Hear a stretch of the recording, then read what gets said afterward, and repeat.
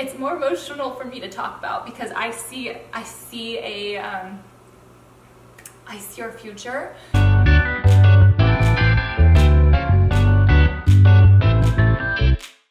Hello you guys, welcome back to my channel. Today's video is going to be a Q&A. We're gonna sit down and answer your questions. I've had a lot going on in my life lately and I've been getting a ton of questions over on Instagram, so I thought it'd be really good to film one of these videos and just kind of have like a chit chat with you guys. I typically share weekly Q&As over in my Instagram stories, but for this week I thought we would just actually film it. I haven't filmed an updated Q&A on my YouTube channel for quite some time, and I think this is just a great way for me to connect with you guys. Anyways, without further ado, let's get started. First question, how did you start getting a bigger following on YouTube and any suggestions for those starting? So YouTube was much easier to grow in my opinion when I first started five years ago. I had a couple videos blow up and take off over my like first two years and I feel like that is really what grew. I hate to say it but honestly I think it's luck at some point. Um, there's only so much you can do with an algorithm. There's of course things you can do like adding the correct tags and making sure your titles are captivating and your thumbnails are captivating and you know making people want to click on your videos so there are things you can do. But for the most part I think it's just luck. When it comes to an algorithm you just you honestly don't know. For anybody just starting out patience consistency consistency is honestly key. I'm seeing a lot of questions about Ty and I's divorce and how we like worked things out and got back together. And we've filmed a dedicated Q&A about all of those questions. So I'm gonna link that below if you have any questions in regards to our relationship or how our divorce and remarriage went about, I'm gonna leave that video below. Somebody says, do you ever get annoyed that Ty plays video games or does he ever play too much?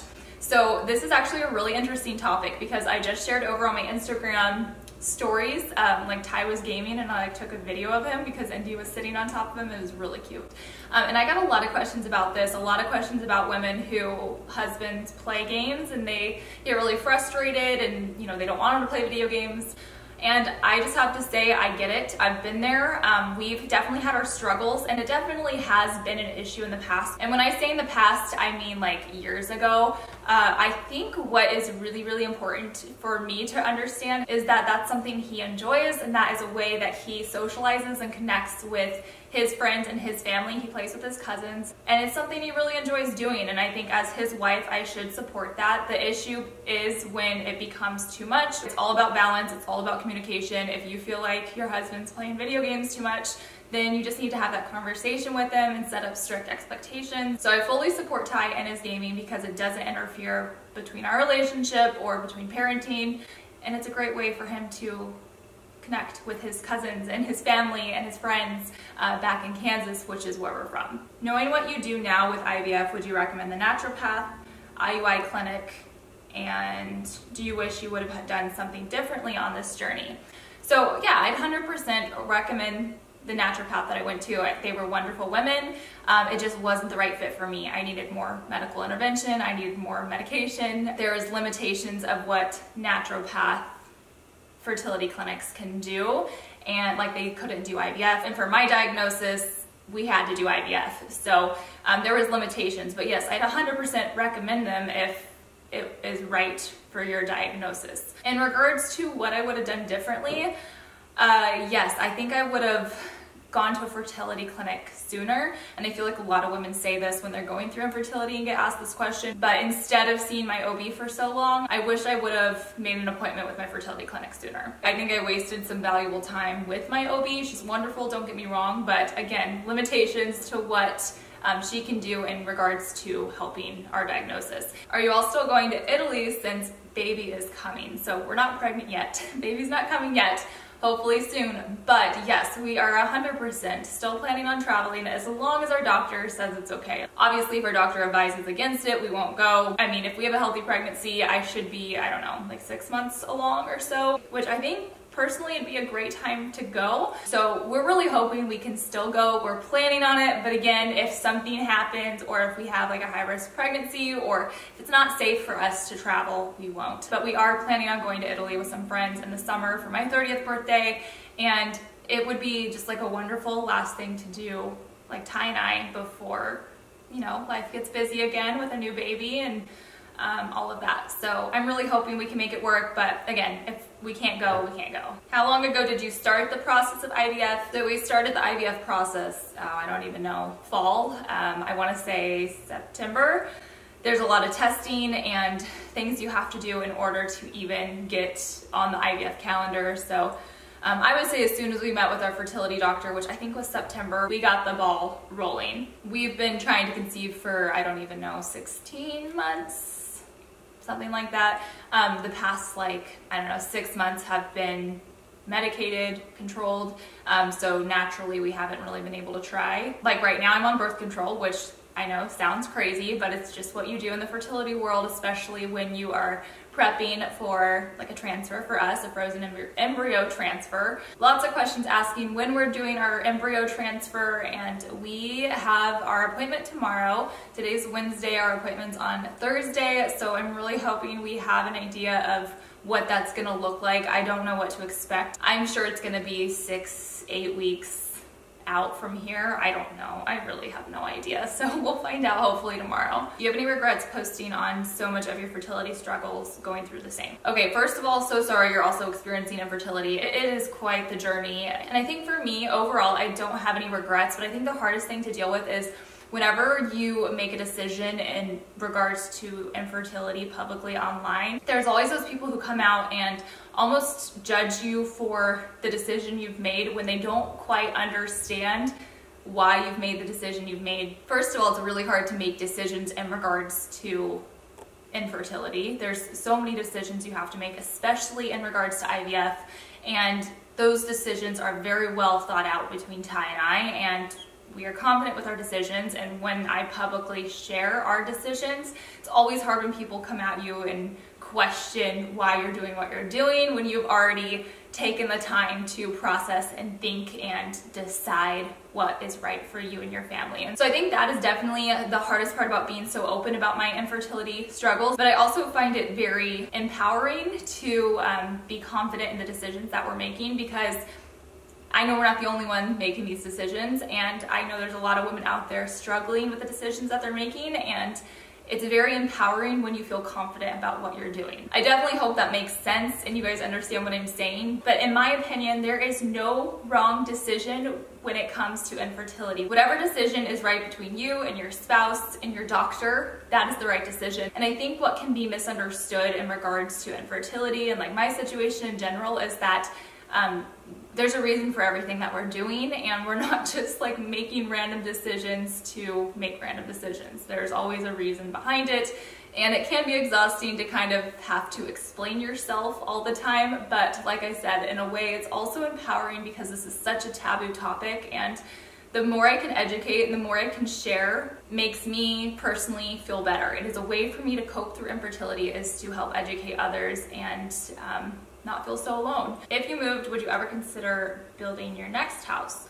Um, absolutely, we would love to build. I don't know if I want to build here in like the Phoenix area. I just feel like if I was to ever build like a dream house or something, it would be on more land. The one thing I don't love about where we live I mean, this is just Phoenix in general. The houses are so close together and I would love to just have some more space. I love having neighbors, but having some more yard and just um, some more space would be really nice. So if we ever build that is more of what we'd want to do. Does Scarlett understand about the fertility process? How did you explain it to her? So yeah, we've been very open with her. She's a very curious child. She loved like being a part of the injections and like watching Ty, you know, give them to me. We've explained that not everybody has to do this and if she has a baby someday she might not have to do this but some women have to and this is just the reality of what's going on so we've been trying to educate her as um, as much as we can you know, as, as much as her five-year-old brain can process. We didn't feel like it was something that needed to be hidden from her. It is a very um, common thing these days, and she might have to go through it someday too. And um, with my diagnosis, it can be genetic, and so I, you know, I want to help educate her from an early age. However, now that we have healthy embryos and like we know the genders and everything, we are holding back that information to share that with her. Um, it's not like she asks about this a lot either, but we're just not actually going to talk about this with her unless she asks. Um, until we are successfully pregnant. So she doesn't know the gender of the embryo. Like that information is just probably too much for her to process. So we share little bits and pieces with her when it makes sense, but not too much to like overwhelm her or stress her out or anything like that. Any future sports you want Scarlett to try or do. So we're starting soccer, which I think she is gonna be so good. Um, she loved running club and running club is over and so we thought soccer might be a really good option for her. We've tried dance, we've tried gymnastics and I would have loved for her to like be in gymnastics and tumbling and all of that, but she just wasn't really into it. She needs more of a, not that gymnastics isn't competitive because it is, but she needs more of like a, a fast paced, um, like super competitive type of environment. That is what she thrives in and I think that's why running was so good for her because she was so competitive and just loved it. So I think soccer is gonna be pretty good for her too. When can we expect the gender reveal? Can't wait and congratulations. Thank you so much and I'm so excited to share it with you guys. I am kind of torn on this whole gender reveal because it's just not how I envisioned sharing um, this personal information online. So part of me is like, I feel a little weird, like announcing the genders of our embryos that aren't even like I'm not even pregnant. Um, so it just, it seems a little weird to me. On the other hand, I'm very excited and we're a very non-traditional family. When life gives you lemons, you make lemonade and this is definitely exciting news for us. I think we should celebrate any milestone, any exciting news that we can share because you know, life is too short not to celebrate. And so another part of me is like, you know, we're just gonna talk about it. We're gonna share. All of our family knows now. So I don't have that answer yet. When it feels right to share, we will share. Um, but I don't know. What are your guys' thoughts on that? Like, I know everybody wants to know and like, I want to share, but it's just like, we're not even pregnant yet. What are some ways you've grown as a person through the IVF process? Oh my gosh. In the past year, I feel like I have grown so much. Um, so much. I feel stronger now than I ever have. I think infertility is one of the hardest things you will ever go through as a woman, but it can also be a very empowering time in your life. You feel like superwoman. I've said this before over on Instagram, as crappy as it is to have to go through infertility and, um, you know, have to to go through IVF just to get your baby, IVF is also an extreme privilege and not everybody gets to go through it. Not everybody has access to IVF. Not everybody has the funds to pay for IVF. Not everybody has the mental capacity to go through IVF. IVF is a privilege and it is a cool freaking process. Like as as hard as it is to go through mentally, physically, emotionally, IVF is so freaking cool. I have friends who have kids who are IVF babies and I have a different respect for those families now. I look at Scarlett's friends who I knew were IVF babies and it is incredible. You don't truly understand infertility or IVF until you've been through it. How are you planning to save for Scarlett's college? We use a program called Backer, which I've actually shared on my channel before. We have a 529 set up for her. So that is how we save for her. It's an awesome program, by the way. If you haven't heard of Backer, highly recommend checking them out. What is your favorite meal to cook? Uh, we have a couple like go-to meals, lasagna, enchiladas, um, like some kind of soup, like a chili or a white chicken chili.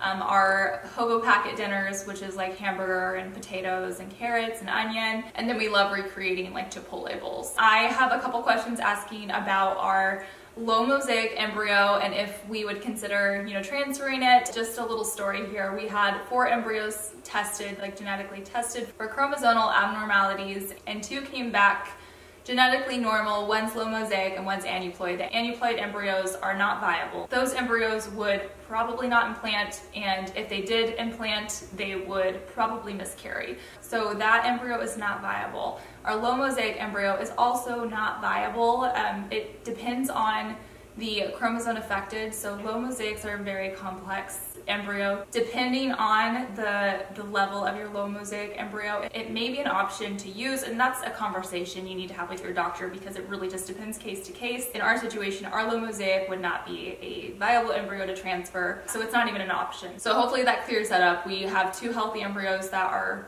an option to transfer. We'll be transferring one embryo at a time if my body is not ready for pregnancy with our first transfer, hopefully it will be for our second. So this gives us two chances to achieve pregnancy through our IVF cycle. Okay, this is a great question. If you could go back in time, what advice would you give yourself before the divorce?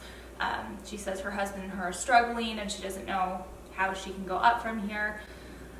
She said, she said, I know you've said divorce made you guys stronger, but I'm curious to know if there's anything you wish you would have done or changed or anything like that. Love you guys and so happy for your growing family. Thank you. This is an awesome question and I'm so sorry that you are struggling in your marriage. Marriage is really hard. And I honestly never know how to answer these questions because what healed Ty and I was time. Time apart, um, time separated, seeing what life was like without each other, uh, living apart. I mean, we lived apart for a year, we lived separately for a year. We co-parented for a year. I think you dig yourself into this hole when you are going through marriage struggles where every little thing will set you off um, or set your spouse off and now we just laugh about it or we joke about it. Like if we have a disagreement, it lasts maybe like, I don't know, an hour or something and we just laugh about it. And so I feel like if we could go back I would tell us to just lighten up and not take things so seriously and don't stay mad at dumb things that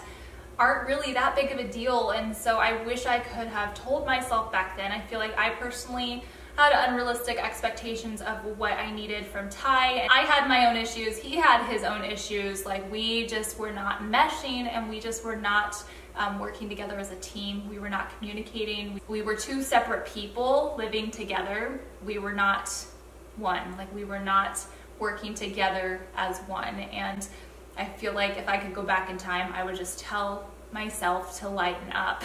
Our marriage is fun now. We have fun, uh, we laugh. And this has always been a huge part of what I've wanted in a relationship. I just, I wanna have fun and I truly feel like Ty is my best friend. It's taken a long time for us to get to this point and as hard as it is to hear, our divorce is truly what saved our marriage. How's Ty's running training been going? What's the next race he wants to attempt?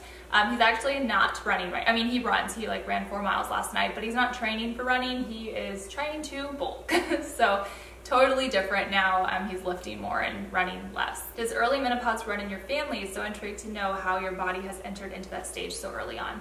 I am too, because it does not. My mom hasn't even hit menopause yet. I have no idea. I don't know if it's environmental factors. I don't know.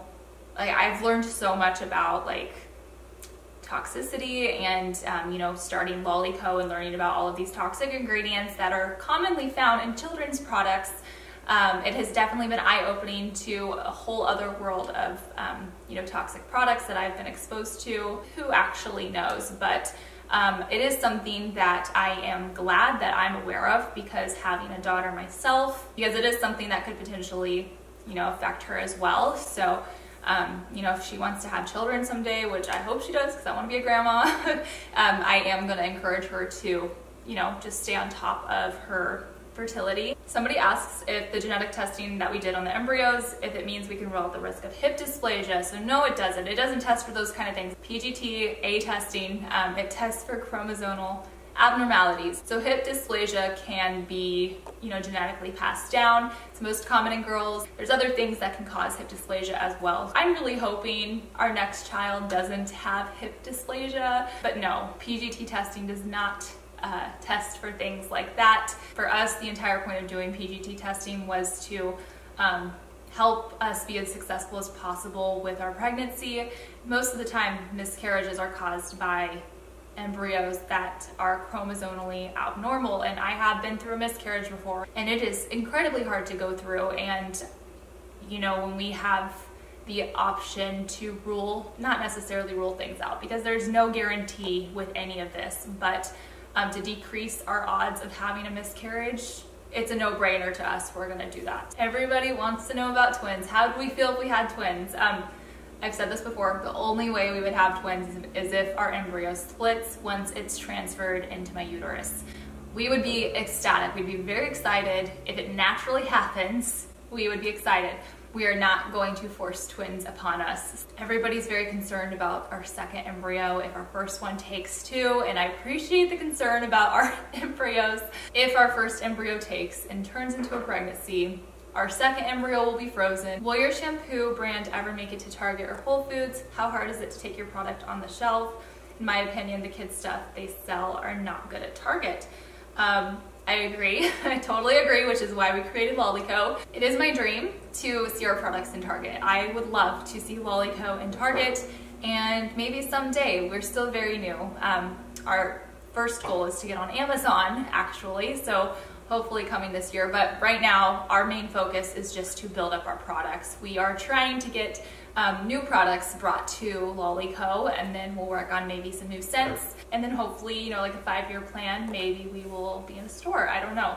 Um, we will see, but we are still a very, very, very new business. So we are not even six months old yet, but um, we do have four products out and about to launch our fifth, which is, I feel like that's pretty good. Having five products, I feel like that's pretty good. So it's all thanks to you guys, honestly. Every time you buy from Lolli Co., that money goes back into the business and we work on developing new products. So thank you. Will you have to move to a new house because your family will be growing? Yay, so excited for you, sweetheart. Thank you so much. Um, no, we have a four bedroom house. And we have plenty of room for we hope to be the four of us, five if you count Indy. Um, we have plenty of space, so each of the kids will have their own bedroom.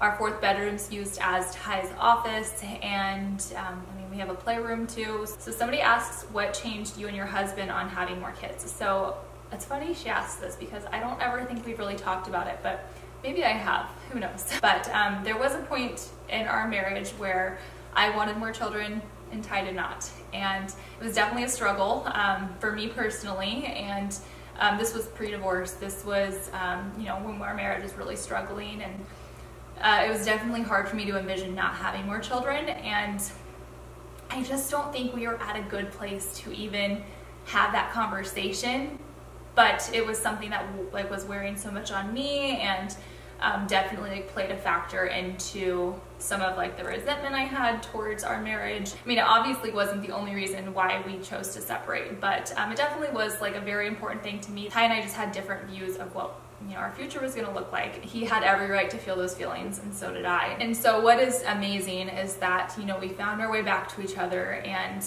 we have the same views now of what our family size is going to look like and what we see in our future. And I can't believe, I cannot believe that we have been trying for a baby. Like I never thought we would get here, honestly. So if you are struggling with this too, hang in there. I think what's so important is just to make sure you have a strong marriage and a strong foundation. And we were lacking that. But obviously, Ty wants another child now, and um, I obviously do too. I always have.